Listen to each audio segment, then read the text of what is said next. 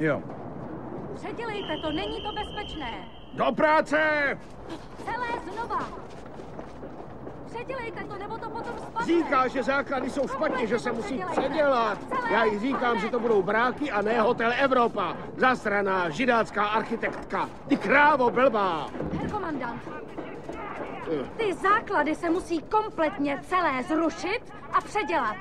Pokud ne, tak na tom vzdálenějším konci si to minimálně sedne a potom to spadne. Jste architektka? Ano. Jmenuji se Diana Reitrová a studovala jsem stavební inženýrství na škole v Miláně. A vzdělaná židovka, jako Karel Marx.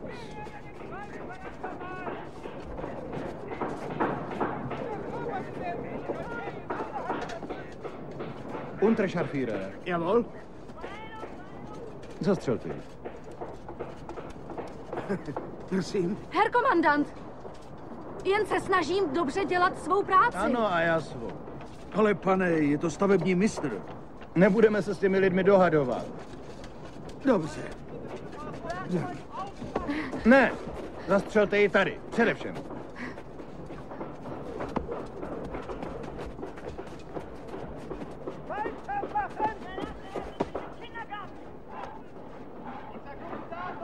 Toto stavbu nezachrání. Jistě máte pravdu.